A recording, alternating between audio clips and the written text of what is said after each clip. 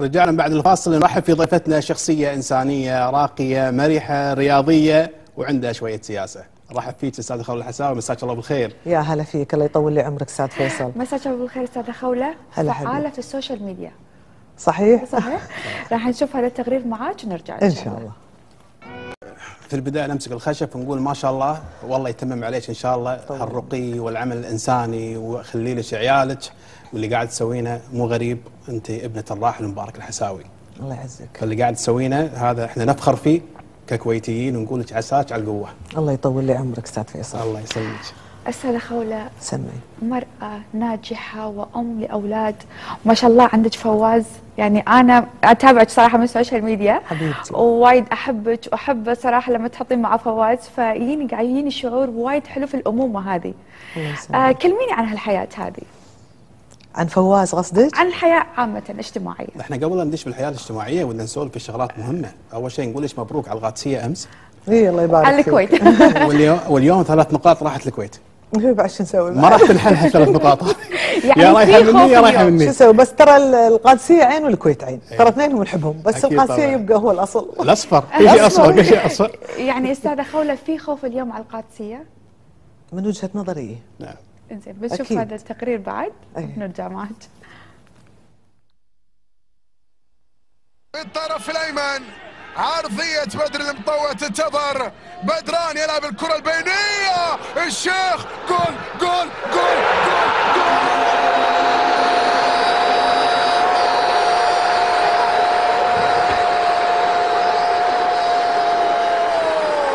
جزاء للقادسية بدران بدر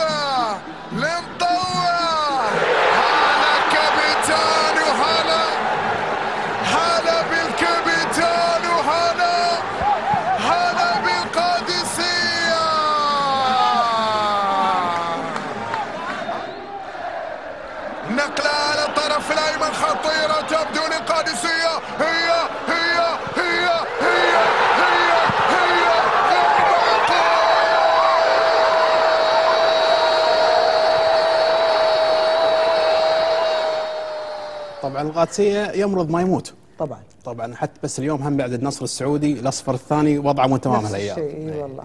بس ما عليه. إن إن شاء شاء الله. الله. إحنا مضى علينا موسمين تبارك الله الناس كلها تحسدنا. صحيح. الحمد لله والشكر لله وإن شاء الله القادم أفضل. بإذن الله بإذن الله. هل برأيك إن نادي القادسيه اليوم مستواه قاعد يتحسن عن قبل؟ والله حتى لو تحسن القادسيه يفتقد أشياء كثيرة. شنو الأشياء اللي يفتقدها اليوم نادي يعني القادسية؟ الاداره يعني إحنا ليش نتكلم عن الكويت؟ أنا طبعا أحب نادي الكويت مو أحبه كعشق القادسية طبعا له كعشق. ولكن الكويت ما شاء الله عليهم يتميزون في تنظيم الإدارة. في أي نادي بالعالم سواء كان نصر السعودي أو الكويت أو القادسية إذا ما كانت الإدارة جيدة ومتلاحمه ما راح تلاقين آه، الصفوف متوازية في بين اللاعبين. راح تلاقي مشاكل كثيرة. نعم على طار الإدارة اليوم نرجع الخبر اللي تداولوه اليومين اللي طافوا عودة السيد فواز الحساوي والشيخ طلال فهد في قائمة واحدة. بما أنك قريبة ما صحت هذا الخبر؟ ولا سمعتي حالك من حالنا؟ ما أعتقد إنه صحيح. ما أعتقد بس طبعا أنا أترك الإجابة لفواز. نعم. هو أبرك مني بهالموضوع لأن هذا شغله. يعني أنت استاذه خوله ودك هالشيء يرجع؟ طبعا. طبعا يبقى شيخ طلال أخ وعزيز و ومن أسرة كريمة والدته الله نحفظ لها كل الحب والتقدير وإخوانه نفس الشيء. وطبعا أنا من يعني من حبينا القادسية بوجودهم مع بعض. من أيام ما كان فواز عضو حتى أستلم الرئاسة. والله يشافي ويوفق عوقه إن شاء الله. إن شاء الله يبعد عنا كل سوء. ان شاء الله. إن شاء الله. إحنا بنتكلم عن حملة رمضون ويانا. أنت طلقتيها الموسم اللي طاف.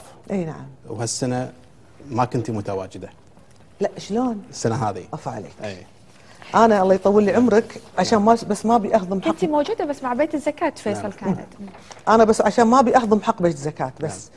آه آه الله يطول عمره أبو عبد العزيز آه وزير الأوقاف في البلديه آه سوى الموضوع آه حملة خلي رمضون ويانا سواها على مستوى دولة الآن. وهذا طبعا آه فخر لي ولأعضاء بيت زكاة المدير العام للعاملين من صغيرهم لكبيرهم.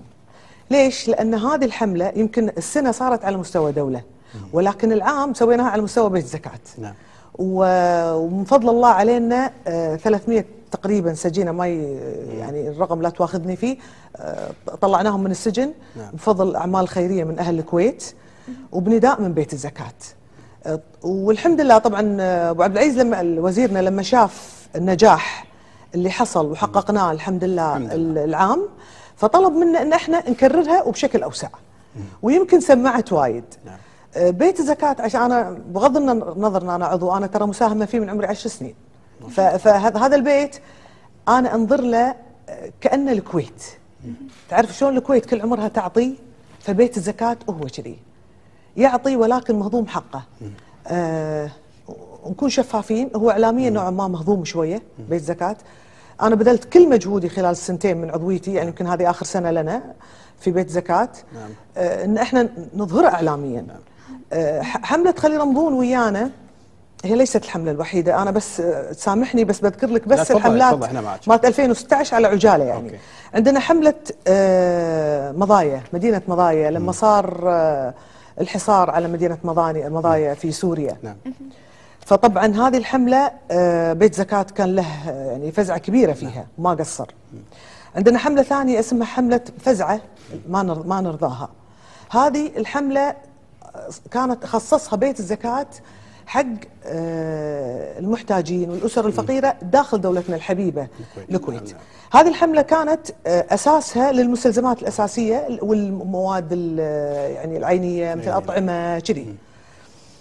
حملة ثانية اسمها حملة حلب تتذكرون الحصار اللي زي ما صار على حلب؟ حملة ثالثة اسمها خلهم يرمضون ويانا اللي ذكرناها أول ما فتحنا أول. الحديث اللي هي 2016 واللي الوزير طلب إن إحنا نوسعها وصارت على مستوى دولة. والحملة الأخيرة هذه كلهم ب 2016 طال عمرك. والح- والحملة الأخيرة اللي هي حملة آه، سوريا اللي هي دف آه، عفوا دفو أيوة فيعني بيت الزكاة يعني إحنا علم الله نسعى جاهدين. أنا أترأس ثلاث لجان. آه، شهريا عندي اجتماعات في بيت زكاة شهريا أسعى إني أخلي مخي تعرف شلون تعصر برتقالة؟ كذي.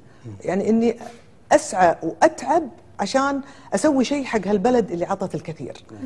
و- ومن قناتكم هني يعني أنا أدعي كل أهل الكويت إنهم يعني تكون تمتد إيدهم مع هذا البيت. يكفي إنه هو مؤسسة حكومية. يكفي إن الدولة داعمته. يكفي إنه هو خاضع لجهات رقابية. وخاضع أيضا لنا إحنا كأعضاء إحنا أيضا رقابة عليه. وفي مدير أيضا الله يبارك فيه أستاذ إبراهيم الصالح. وفي جنود مجهولة يا أستاذ فيصل تقول والله هذيل كذي يشتغلون؟ يعني يتعبون. ومع مع هذا أنا ساعات في تويتر يجيني بعض الإساءة عن بيت زكاة. فأحزن لأني أنا موجودة في أرض الواقع عندهم بينهم. نتكلم عن موضوع الإساءة اللي قاعد تتكلمين عنها اليوم. وايد ناس قاعد تتذمر من بعض الشروط اللي يطلبها بيت الزكاة نعم. أنت اليوم قاعد تقولين اعلاميا ما حد يدري عن بيت الزكاة لا وعن لا يدري اللي- بس بيت زكاة يستحق أكثر نعم. أكثر للظهور إعلاميا عشان كذي أنا اشتهدت من عرض الاقتراحات اللي أنا قدمتها حق بيت زكاة أن أنا أطلع حق المدارس اطلع حق الجامعات اطلع عشان تبون وزارات ما عندي مشكلة أفضي نفسي عن طريق مكتب المحاماة أفضي وأطلع لكم عشان أنشر أعمال بيت الزكاة. وبعدين أنا ما يهمني ترى الكبير بس أنا يهمني حتى الصغير. أنا لما كان عمري 10 سنين كنت أساهم كفالة يتيم. نعم. فيعني بالعكس حتى الصغير أنا عيالي بسم الله عليهم ريايل الحين يعني. الله بس. كلهم لما جاتني الأستاذة ميسه الفلي أوجه لها تحية آه، كانت تطلب مني شنو الأعمال مالت السنة نسويها فكانوا موجودين. فقلت لهم قبل لا تطلبي مني اطلبي منهم. وعلى طول بسرعة يعني طبعا يشوفوني أنا أسولف في البيت ويطلعون معي كل الطلعات اللي اطلع فيها الجامعة يكونون معي وأنا أتعمد أزرع هذا الشيء فيهم. أنا مو بس قصدي امه قصدي أمه وقصدي هذه الشريحة اللي إن إحنا ننمي هالروح بشباب الكويت. أستاذة خولة. اليوم وصلتنا معلومة. يا تأكدينها يا تنفينها. تفضل. أنك راح تهدين بيت الزكاة. لا لا. شوفي حبيبتي غنية. إحنا طبعا أنا تم تعييني من آه، ترشيح من وزير العدل. الله يمسيه بالخير الاستاذ يعقوب الصانع. أحفظ له كل التقدير والاحترام. وطبعا بعده أيضا من مجلس الوزراء أكيد يعني شرفني صاحب السمو ونبارك هذا الاختيار. تعييننا لمدة ثلاث سنوات. المفروض إحنا آخر هذه السنة نخلص.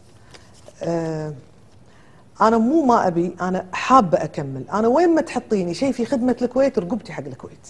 ما عندي أي مشكلة. حتى لو كان لود علي ما عندي مشكلة لأني أنا أعشق هالتراب وأحبها وأحس لحد الآن أنا ما رديت جميل. أحس ودي بعد أعطي. ولكن أنا يمكن قلت حق بعض الزملاء قلت هذه آخر سنة وأعتقد أعطي فرصة قصدي حق غيري. لأن أنا يمكن عندك خبر أنا أول سيدة تدخل بيت زكاة كعضوة. عندي خبر. فقد يكون يمكن في سيدة ثانية بعد تعطي أحسن مني. هذا كان قصدي. أما أني أنا خولة تتخلى لا والله ما أتخلى عن شيء يخص الكويت. ابدا. أستاذ خولة بنتكلم عن بما إحنا قاعد نتكلم عن العمل الخيري. ودي أرجع شوية إلى مركز مبارك الحساوي لتحفيظ القرآن واللي موجود تحديدا في سجن اللسان. نعم. يقال أن المركز الحين مو مثل السابق آه، يصفر ما في أحد. يعني أتكلم بريحية. أخذ راحتك. شوف طال عمرك هذا المركز بدايته آه، قعدت أنا ويا الأستاذة وفاء البعيجان. نعم. وجه لها التحية والتقدير والاحترام وانحني لها إنسانة فاضلة. نصحتني وقالت قعدنا سولفنا أنا معاها كنت رايحه حق الصم والبكم نكرمهم. فأعطتني هذه الفكرة. قالت لي بس هذا حلم. قلت لها الحلم سيصبح واقع. ما عندي أي مشكلة لأني أنا أعلم والدي يحب دائما الأعمال الخيرية اللي ما هي ظاهرة. صحيح. وأعرف إن هذا الشيء يحبه. فبديت والتراخيص خذت معي تقريبا سنتين على ما خلصتها. والحمد لله أتممنا المركز. بديت فيه أنا شخصيا ولكن مبرة والدي هي نقدر نقول أكثر من 80% هي اللي ساهمت وهي اللي خلصته. ورحنا أنا وأخوي عبد العزيز الله يحفظه وحضرنا الافتتاح وكانوا رجال من الداخلية من حقوق الإنسان. بس أعطيك نبذة هذا المركز يعتبر الأول على مستوى العالم الإسلامي لأن في تحفيظ قرآن، مركز تأهيلي، تعريف بالإسلام، لغة عربية، كمبيوتر، خياطة، صلاة، كل شيء. فبدينا فيه طال عمرك آه، تقريبا 200 سجينة يوميا يبونهم ثلاث إلى أربع ساعات. إحنا قلنا نتكلم وياك. فبدينا آه، 200 سجينه تي وطبعا وفاء تدري كبرت وطلعت وحطت واحدة ثانية مكانها استاذه فاضلة اسمها هيفاء العيدان وبدت بدا المشوار آه وفاجئ إن بدت تجيني وايد مشاكل وايد واتسابات وايد اتصالات. يا ام مبارك يا ام مبارك ما يجوز ما يجوز اللي قاعد يصير. خلافات ما بين المشرفات ما بين السجينات بدأ يقل عددهم وهذا أثر عليهم. وأنا طبعا تعبت وسعيت وتكلفت ووقفت على رأس هذا المكان. كله من مال هذا الإنسان اللي هو تحت التراب اللي جميله على راسي لين أدخل أنا. وراه تحت نعم. التراب عشان يستمر هذا الأجر فالمهم نبشت في الموضوع ولا قالوا لي في آه، المشرفة الموجودة حاليا هي اللي مسببة المشاكل وهي اللي قاعد تسيء للمشرفات الثانيين فطبعا شلت نفسي ورحت حق الوزير نعم. الأستاذ آه، أبو عبد العزيز آه، محمد جبري وشرحت له الوضع وعدني خير نعم. وقال لي حاضر يا مبارك وإحنا نشيلها فطبعا اختصرت الحديث كله بحديث واحد. قلت له يعني لا تزعل علي أبو عبد العزيز ولا يزعلون علي المشاهدين. قلت له هذا المركز مو الدولة سوته ولا الأوقاف سوته. هذا مبرة مبارك الحساوي سوته من ماله الحر. فبالتالي أقل حق لأولاده وزوجته وبناته إنهم يختارون من يرون من يرونه كفء. صحيح. فأنا مو طالبة أقل من هذا أكثر حق بسيط اللي أنا طالبته. فأرجو كل الرجاء هذا الإنسانة بدون ما أبي أذكر اسمها طلعوها. طبعا لا زالت هي موجودة. فقلت قلت له طلع لي إياها. ما أبيها. ورجع لي الأستاذة هيفا اللي هي كانت ماسكة هذا المركز. قال لي تامرين أمر. وبكرة وبعده وبكرة وبعده علمت انه حصل تحقيق مع هذه الإنسانة، طيب التحقيق أنا بعيده عنه. واخروه عني، أنا أبي الأجر حق والدي اللي تحت التراب. على فكرة ترى يمكن إخواني وخواتي والدتي أول مرة يسمعون هالكلام، أنا ما كنت متكلمة وكنت حاطته بصدري هالحكي. لأني أنتظر أبو عبد العزيز يحله.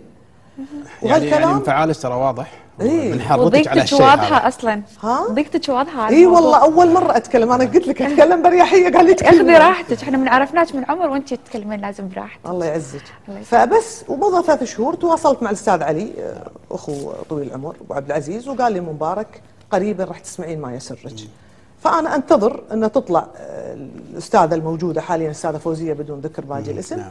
ورجوع هيفا وإن شاء الله إذا رجعت وعبد العزيز لبى النداء.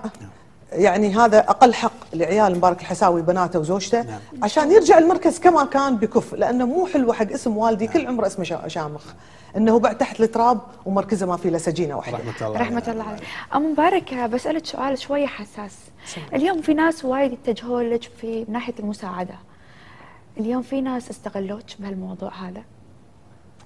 أقول لك شيء أستاذة غنيم إحنا بالعكس أنا حاسة نفسي الحين مو بمغابله حاسة نفسي ما إحنا قاعدين ندردش ترى إحنا نسولف. قاعد نسولف. صدقين أقول لك خذي راحتك على الآخر. أقسم بالله مبارك ولدي كان يمي ويمكن زوجته. صادق. صادق ياني واتساب ممكن تساعديني بمليون دينار؟ يعني أنت شو تحسين بنفسك؟ أكو إنسان يطلب مليون دينار؟ مساعدة؟ مساعدة. وقبل هالمرة واحد قال لي أبي 500000 وقبل هالمرة قال لي واحد أبي 300000 هذا داش مشروع مو يبي مساعدة. يعني واحد قبل هالمرة قال لي أبي بيت. يعني ما أدري أنا صدقيني بديت أشعر يعني أنا لا ظهوري الاجتماعي اللي أنا قاعدة أطلع فيه أو الاعلامي أو أنا عمري ما تباهيت ولا قلت أنا شنو عندي أنا بالعكس إنسانة بسيطة وشعبية وتعلمت هذا الشيء من والدي إني دائما أمشي على الجانب ما أحاول أظهر نفسي بل بالعكس أنا يمكن الوضع اللي أنا فيه أقدر أسوي كل شيء. مبارك بس وصل لك مسج ودعا عليك شخص. إي والله.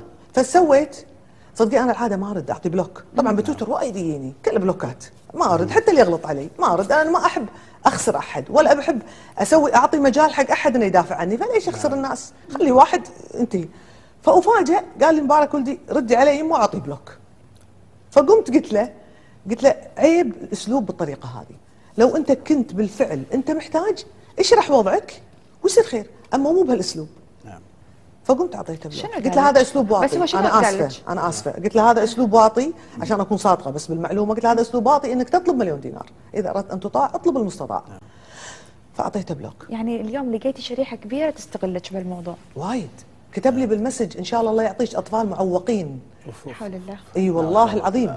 وإن شاء الله تنذلين مثل ما أنا منذل بهالمعنى يعني. عاد أنا مو حافظة ال message فاعطيت مرت ولدي. قلت لها يمه أنا ما أعرف شو يسوون بلوكات حق ال message وحق الاتصالات وما أعرف. فقامت وسوت لي block كل شيء ريحتني الله يطول عمرها. فوايد يعني طبعا أنا يعلم الله يمكن يميني ما تشوف شمالي وهذا الأصول. يعني في أعمال ترى لازم تشهرينها. لأن ت- ساعات يمكن أنا اتعظ منك أو تكونين أنت بالنسبة لي قدوة. بس مو كل شيء أنا أشهره. فافضل بيني وبين رب العالمين. فأنا ماني عارفة ليش يدزوا لي كذي. يعني أنا أستغرب. مبارك بس ترتاحين شوية؟ تاخذين. نفس. لا لا عادي عادي عادي. راح نطلع فاصل ونكمل. إن شاء الله. رجعنا بعد الفاصل ها هديتي؟ لا والله ماكو شيء. الأمور طيبة؟ خذيتي نفس خذيتي. ما إحنا نبيش تتكلمين. إيه. تاخذين راحتك على الآخر. اي الله يسلمك. قاعدة بين أختي وأخوي. الله يسلمك. نمسك الخشب ونقول الله يتمم عليك قاعدك مع عيالك. الله يعزك. ودنا نتكلم اليوم مع الأسرة وتحديدا نسولف عن فواز. هذا الحب نعم. ما يحتاج. الحين قاعد يتابعني مجهز الآيباد وقاعد يصور. شافني لابسه قال لي ماما وين البيجامة؟ قلت له لا أنا احب أروح الاستديو بنسوي عندنا حلقة. قال أنا أمسك الآيباد. قلت له أيوه صور. هذا طال عمرك أستاذ فيصل هذا البركة نعم. في آه، طبعا خلقي رب العالمين هو اللي أعطاني هالخلق الشكل. وأخلاقي أكيد يمكن تربية الله يغفر له والدي. رحمة الله. ولكن بركة في مالي ورزقي وفي عملي في المحاماة. وفي إني أنا أظلل على عيالي وبيتي ورضا والدتي وإخواني واخواتي أنا أعتقد كل هذا وراء فواز. اليوم فواز. شنو ضاف في حياتك؟ يا أبوي وايد. مثل شنو؟ سعادة لا توصف. سعادة لا توصف. اليوم حصل موقف شاددنا في البيت مع الخدم يعني. نعم. واحدة خاطية الثانية وأنا ما أحب أحد يظلم الثاني. فشديت شوي وياهم. كان منسدح يطالع الآيباد. يعني شوفي أنا مبارك ومحمد وضاري أنا ما أحبهم. هذيلا هذيلا ربعي وهذيلا تاج راسي وهذيلا عيالي وقطعة مني. يعني أنا أنا تعديت مرحلة الحب معاهم لكن فواز سابقهم مليارات. صدقيني وإحنا متشاددين سكتنا خلاص حلينا الموضوع قامت تبكي وراضيتها وراحت. ما شفتها اللي جاي من وراي ويحاضني ويمسك رقبتي بقوة. I love you ماما. بعد عمري. الله يخلي لك اياه إن شاء الله. صبري بروح أقوم إن شاء صبري. صبري. عشان شنو؟ يهديني. إني أنا زعلانة بس أنا مو زعلانة. أنا ما ابيهم يزعلون لأني أثر على البيت. إيه. وعلى أعمالهم في البيت كموظفين يعني. أكيد. خلينا نشوف التقرير ونرجع نكمل. يلا.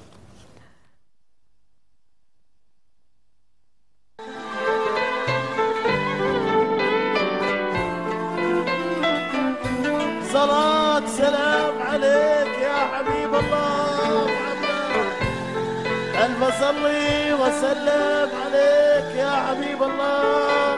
محمد. هب الساعة. هبايبة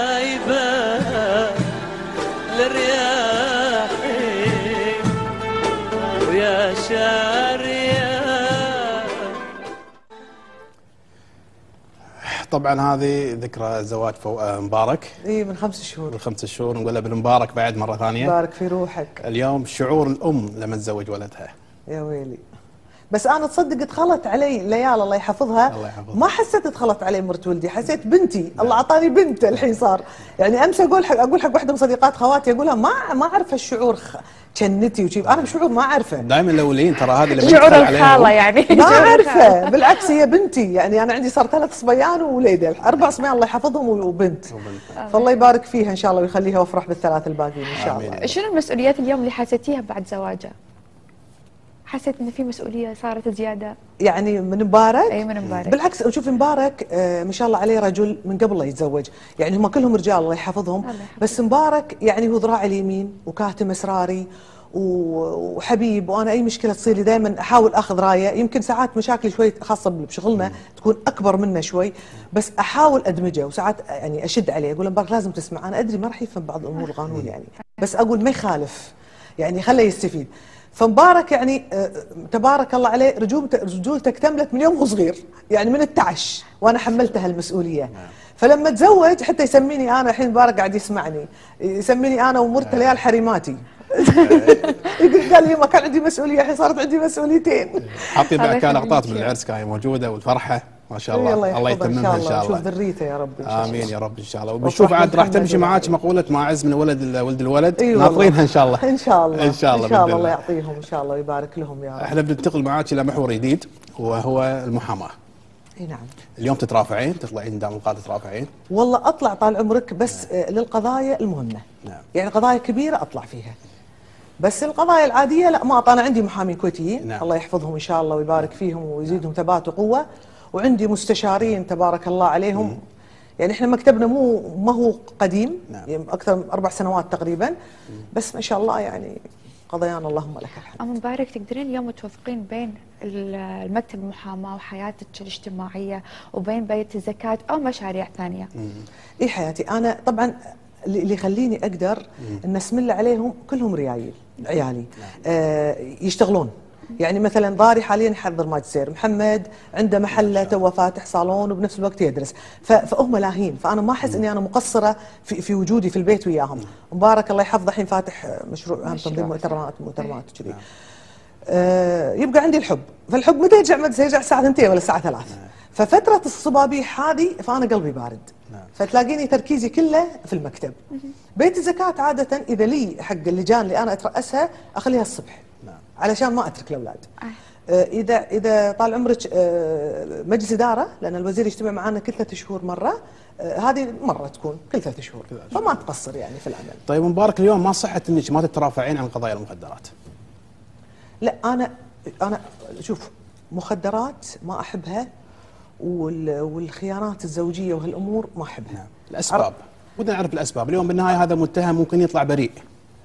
يشوف طال عمرك؟ أنا الله يسلمك إذا القضية أول ما استلم أنا ما اقعد مع الموكل. أول شيء أخلي المستشار يقعد. المستشار عارف نيتي عارف رغبتي أنا شنو آخذ شنو ما آخذ. حلو. نعطيه موعد حق جلسة ثانية. أقعد أنا والمستشارين. ون- ون- ونتباحث في هذه القضية. نعم. اذا إذا هو من وجهة نظر إني أنا ما آخذها أقول لا خلنا أشوف. أشوفها. إذا شفتها كيدية أو فيها تلفيق اي وهذا حصل وساندت ال- الموكل مالي ولله لها الحمد وطلع منها براءة. هذه توها قريب. أما بشكل عام عشان أروح أدور له خيط وأطلعه لا أنا قاسمه اليمين أمام رب العالمين. مو أمام المحكمه الدستورية. فأنا ما أخون مهنتي ولا أخون ضميري ولا أخون ربي. نعم. فعشان كذي ما ما اخذ فيها. يعني هل اليوم صحيح إن في بعض المحامين ممكن المتهم يدري فيه إنه متهم؟ اي طبعا.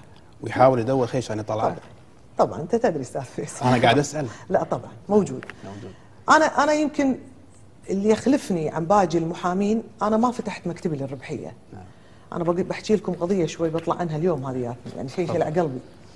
آه، أنا مو فاتحة مكتبي للربحية أنا فاتحة مكتبي لخدمة أهلي إن أحتاج الأمر وفاتحة مكتبي لخدمة أهل الكويت وبشكل خاص إخواني من ذوي الاحتياجات الخاصة اللي أنا فاتحة مكتبي على مصراعيه لهم دون أي مقابل. واتشرف وهم تاج على راسي. على فكرة قبل الله يعطيني فواز أنا فواز أنا ما أعتبره عنده مشكلة. يعني فواز أنا أتناجر أنا وياه كل يوم وما في ما ماكو شيء.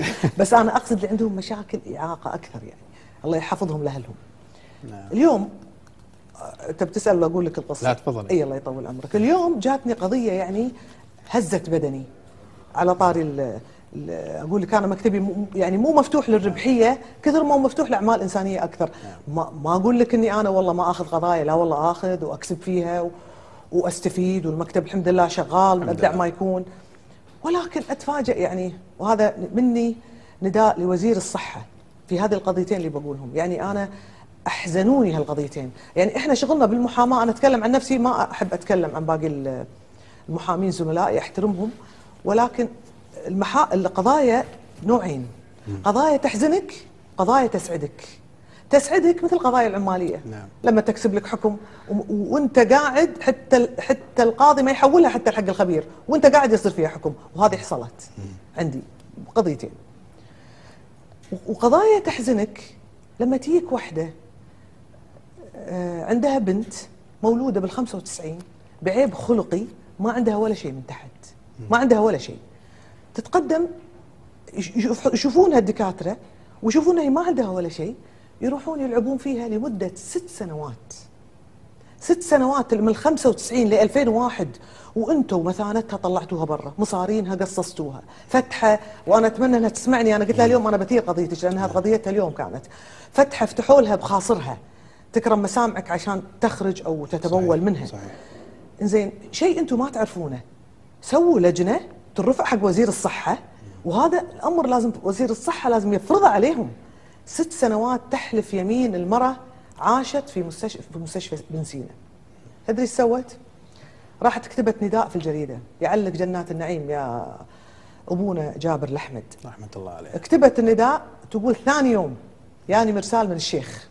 كان يقول لها تعالي. إيش قصتك؟ كان تقول قصتي كذا كذا كذا كذا. أنا ست سنين عايشة وأنا هذه قصتي والعبه وبنتي وبنتي عمرها ست سنوات. قال لها الآن تطلعين أمريكا. راحت البنت أمريكا وتموا يعالجونها. صارت المشاكل مالت الحين رجعوا مالوت الصحة اللي على حساب الدولة اي والميزانية اللي. صارت. بعد إيه. التجاوزات. إيه. طيب أوكي لازم يكون في فصل. أمر مثل هذا افصله عن الناس المستحقة. ما يصير أنا أخلط حابل بنابل أشمل الكل صح. فصار عليها المسكينة. قالوا لها ترجعين. طيب البنت عندها مشاكل. هناك الدكتور لما شافها في هارفرد قال لها أنت ما أقدر أصلح. مصارينك مقطعة؟ عندها مثانتين طال عمرك وعندها رحمين. قال لها مثا- مثانتها برا. تكرم مسامعك بقت هذا برا. والثاني فتحة. وللحين الفتحه موجودة. فقال لها قال لها الدكتور هناك أنا ما أقدر أسوي لك شيء أنا رمم. بس ترميمات اللي نقدر عليه يعني. طبعا فقدت عذريتها البنت. عن والسبب العلاج اللي سووا لها إياه. اللي خضعته في الكويت لما عرفوا إنها تبي ترجع قال قالوا لها إحنا عشان تعرفين شلون الشعب الكويتي يعني وهذه عينة من الشعب الكويتي.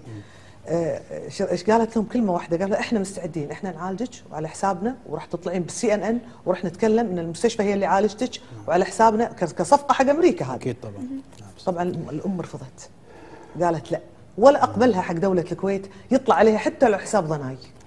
وردت بنتها وجابتها الكويت واليوم هي عندي وتبيني أرفع لها دعوة. وأنا قلت لها أنا عيوني اليمين قبل الشمال وما أبي منك شيء وراح أطالب لحين ما أوصل حق حقك. يعني البنت فقدت عذريتها فقدت آه، آه، آه، مصارينها متقطعة عندها مشاكل بالرحم عندها مشاكل في المثانة. البنت تدرين الحين وين؟ ثالثة طب. ما شاء الله ما شاء الله. فشيء يحر للأسف اليوم أستاذة خولة إحنا وصلنا مرحلة ما نمشي إلا بالنداءات. ما يصير. يعني فيا وزير الصحة يعني على حالتك قاعد من تذكرين فيها يعني لازم إحنا عندنا حالة بعد من حوالي أسبوع ريال طايح بالمستشفى صار له سبع سنين. ويوم طلع عن طريق العدالة زوجته تكلمت وسوينا نداء تحرك الوزير ثاني يوم وقال نسفرك برا. إحنا ما ودنا كذي ليش نوصل هالمرحلة يعني أنا اليوم؟ أعرف سبع أنت سنين ما على وصلت الفراش. إلا أنت كفاءة. أكيد أي. طبعا. فلازم يعني عيال الكويت ما يستاهلون منك هالشيء شوف ما رضت ضحت في ضناها عشان لا تسيء حق دولتها هي. ليش اليوم برايد شو مبارك إن ننطر يوصل هالموضوع هذا؟ أو يكبر الموضوع. ليش مو من أول بداية؟ ليش ما يتحركون المسؤولين من البداية؟ عشان كذي قاعد أقول لك هذه في نقص. نقص يعني اذا إذا الهيد ضعيف معناها اللي تحت ضعاف إحنا أنا أقدر أقول واسطة. نشتغل لا فيصل يمكن نقدر نقول إذا كان عندي واسطة طبعا هذا الموضوع. أكيد. انت هم ليش وقفوا علاج بالخارج؟ لأنه كله واسطة. كله كله واسطة. واسطة. كله واسطة. فانت ما ودك توصل حق المرحلة. بلد خير وبلد عز. طبعاً الله يطول أكيد. عمر ش- شيخنا مو مقصر مع الكل. يعني وبدليل الشيخ يابر يعني شوفي مشاغله. إيش كثر؟ ومع هذا حاط ناس تتابع. وأكيد شيخ صباح نفس الشيء الآن. ما يقبلون على يعني عيال بلدهم. إحنا دائما ما نشتغل على ردات الفعل. أيوه هذا مو إحنا. اليوم حتى الموضوع هذا إحنا ألمنا شفنا هدينا شوية. طخينا تألمنا مع هذا الموضوع. راح نطلع فاصل ومكملين وياك. رجعنا بعد الفاصل. كنا نتكلم إحنا بالكواليس عن موضوع وزارة الصحة. هم بعد في موضوع جديد؟ لا بعد هم في قضية ثانية. هم القضايا أقول لك اللي تحزن. إحنا مساء قلنا قسمنا القضايا مالتنا آه تسع شهور لا سنة. نعم. سنة طال عمرك هي تداوم هذه الموظفة نعم. بالوزارة. تسع شهور ما تتقاضى راتب. وين راتبها؟ ما يعطونها راتب. ليش؟ طيب شلون ما تعطونها راتب؟ هاي زين منين تاكل؟ منين تصرف؟ منين تشرب؟ منين؟ لا وأبشرك بعد. توقع حضور وتوقع انصراف. موظفه كويتية هي؟ اي وكويتية. وانت دي- تديره؟ خدمة وعندها؟ ثلاث شهور. نعم. طبعا راحت ومسكينة وصارت قصص قصص كثيرة. لما بالأخير بعد معاناة صرفوا لها ست شهور. انزين. الثلاث شهور الأخيرة مال باقي السنة طبعا مرت في ظروف صحية الأخت ويابت أوراق طبية ويابت آه، قالت لهم أنا مقدمة إعذار طبية ومريت في ظروف صحية يعني ما يجوز هالشكل. فقالوا له فقالوا لها لا خلي يجتمع آه، المجلس نسوي لك مجلس آه، طبي واجتمع المجلس وأقر إن لها حق. ولهذه اللحظة ما انصرف لها شيء. فتقدمت عندنا الآن وقالت لي أرجوك يعني طلعوا حقي. فانا مضطرة أطلع حقها. حتى لو بختصم من وزارة الصحة. مضطرة. نعم. لأن أنا ما أقدر أشوف إنسان مظلوم يجيني بالطريقة هذه وأتركه. أكيد صح.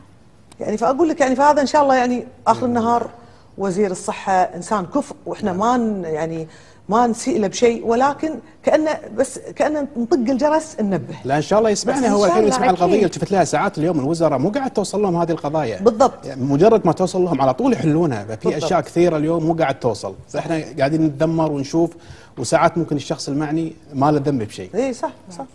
صح آه مبارك أغرب قضية مرت عليك اليوم غير هذه اللي اليوم وصلت لك؟ أنا هذه والله اللي ذبحتني وايد. اي أقول لك هذه القضية غريبة. هذه وحدة طليقة مطلقة هي خالصة. راحت اتهمت زوجها. أنا ما أقولش أنا هالأمور ما أحبها بس اضطريت ليش؟ لأن زوجها عنده قضايا كثيرة عندي. قط- قط- برأته. مطلقها طلقة بائنة وخالصة. راحت اتهمتها إنه يحثها على الفسق والفجور. ويابت بنتها تشهد عليه. على أبوها. على أبوها. وحكم لها طبعا القاضي. ويابوا لنا ال- طبعا توجهوا عندنا. نعم. واللهم لك الحمد. 21 متى أمس. أمس. أمس كسبنا الحكم لصالح آه، زوجها. الحمد لله. فأنا فوجئت يعني في الأمر. انت أنت مطلقه وخالصة. فليش أنت تستضعفينه؟ لا باعتباره هو وافد. طبعا هي المرأة لها علاقات كثيرة. فاستغلت علاقاتها بهذا الشيء واستغلت تربية بنتها لها وخلت بنتها تشهد أمام القضاء. وك- وكسبت أول درجة. ولكن اللهم لك الحمد آه، آه، يبنى الحمد لله الحكم حقه. اليوم على طاري. كس كسب الأحكام. اليوم السيد فواز كسب حكم تمييز. اي ما شاء الله. اليوم نعم. بلغني فيه. نعم. الله يوفقه يا ربي. فواز ما يستاهل نيته طيبة. نعم. وأنا اليوم قلت له قلت له فواز على نياتكم ترزقون. أنت ماكو أطهر من قلبك وأنت نظيف. الحمد لله. والإنسان النظيف ويخاف الله ربه دايم معاه يرقص آمين يا رب. يعني أكيد إحنا وصلنا لختام الحلقة اليوم الله وسعدنا. جدا في وجودك معنا والقضايا اللي طرحتيها والنداءات اللي طلعت منك ونتمنى إن شاء الله تكون الأيام الجاية تكون أفضل وأفضل. كلمه اخيره تحبين تقولينها طبعا أنا سعيدة إني تعرفت عليك أستاذ فيصل. وتعرفت على الاستاذه غنيمة تسلمي. سعيدة إني أطلع في هالقناة اللي آه، يعني أنا أحفظ لها كل التقدير وأتمنى إني أكون كنت ضيفة خفيفة عليكم. وعلى حبايبي أهل الكويت وإن شاء الله مستقبلا نطلع معاكم ويكون عندنا أشياء أكثر مفيدة حق المشاهد ولكم إن شاء الله طبعا إن شاء الله كل الله. الشكر لك أشكر قناة استاذه خوله. يعطيك العافية ونورتينا. حياك الله والساعة المباركة الله يعزك ساعتك كبرك ساعتك بعد الفاصل الفقرة الرياضية مع محمد رضا